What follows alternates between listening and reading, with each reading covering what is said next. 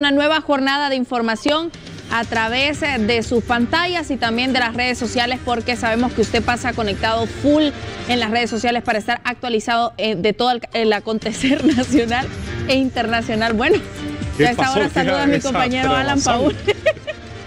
¿Nervios o...? Yo digo que son nervios. No, no, no, no. No, nervios no creo. No.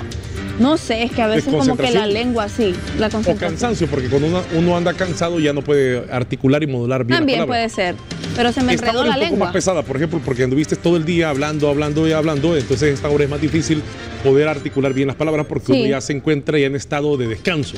Sí. Entonces ya la voz uno pues ya Ya a esta hora, por ejemplo, yo ya estaría dormida. Digo, porque hay alguna población que a esta hora Está durmiendo ya, está descansando. Y hay otros que tienen una jornada más larga, más intensa, que llegan a esa hora a sus casas, que están comiendo incluso y que están viendo HCH. Así es. Nuestros saludos a nivel nacional. Gracias por acompañarnos a través de HCH Medianoche. Qué gusto que estén conectados en estos momentos. Hay gente que está cenando en estos momentos. Hay gente que está cenando. Hay gente que cena a esta hora. Eh, sí, pero es que los compañeros, los compañeros de máster lo decían de otra manera. ¿Te ha tocado, por ejemplo, ir a cenar después del medianoche ahorita? Eh, no no, porque, porque mm, según lo que dicen los expertos, bueno, depende, sí como, a veces. Sí, porque no te dio chance de cenar a las 7 de la noche, que es la hora como indicada, o no me dio chance de cenar durante todo el día. Entonces, y andas con un hambre increíble, entonces eh, te vas a cenar súper tardísimo, a las 11, casi 11 y media de la noche, 12 de la noche. Pero de vez en cuando, porque dicen los expertos Alan, y eso es muy peligroso. Sí, peligroso. Que dicen que comer muy de noche no, porque eh, el estómago, después el cuerpo entra en un estado de dormir y el estómago ahí queda la comida, no sé. Sí, más complicado. Pero bueno, gracias a nuestros televidentes. Vamos a arrancar con lo más destacado a través de HCH Medianoche.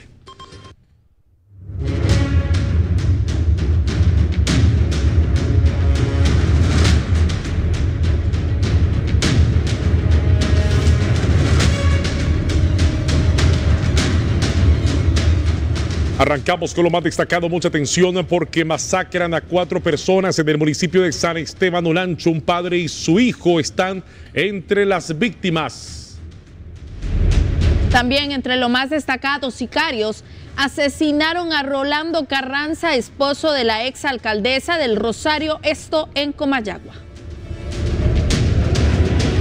Y dentro de lo más destacado, mucha atención porque Ligia Ramos abandona abandona la bancada del Partido Salvador de Honduras para convertirse en diputada independiente. También viceministra de Seguridad Yulisa Villanueva pide al Ministerio Público resolver casos como el de Hilda Hernández, hermana del expresidente Juan Orlando Hernández.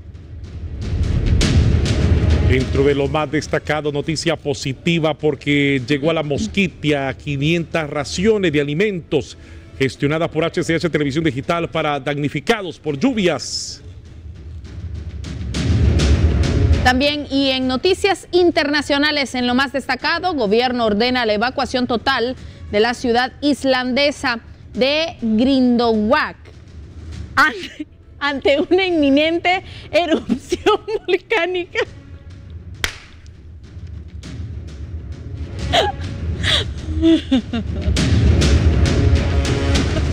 ¿Cómo se llama?